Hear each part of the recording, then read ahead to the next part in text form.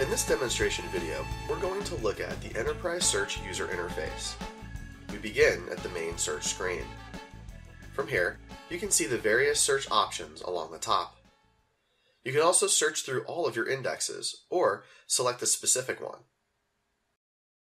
For our demo purposes, we have our main Perceptive Content Index, as well as an Accounts Payable drawer specific index. Let's search through Accounts Payable Purchase Orders. I'll select the Accounts Payable Index and enter a valid purchase order number. After the search completes, a new screen is displayed. The results page is broken into three main areas.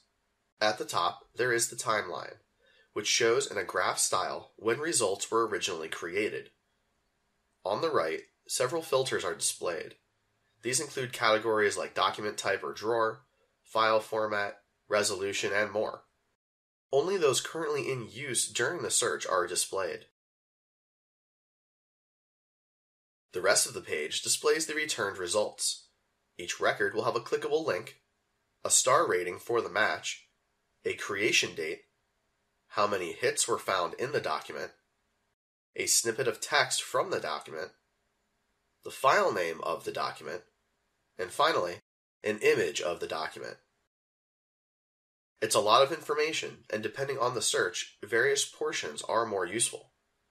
Clicking the link or the document image will display the image of the document.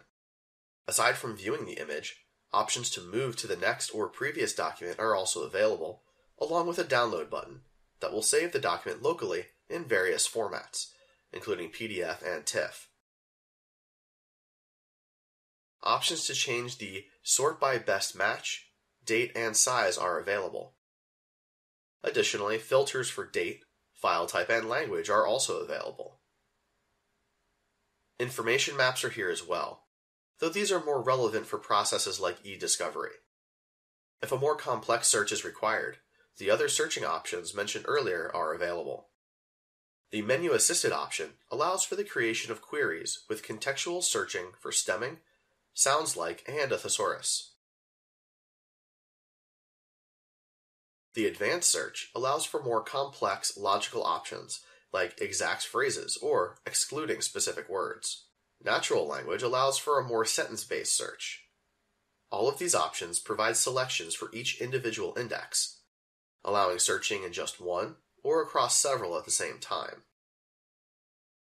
Finally, if needed, run a completely new search from the top of the screen and select whichever index is relevant. This concludes the demo on the basics of enterprise search use. Thank you.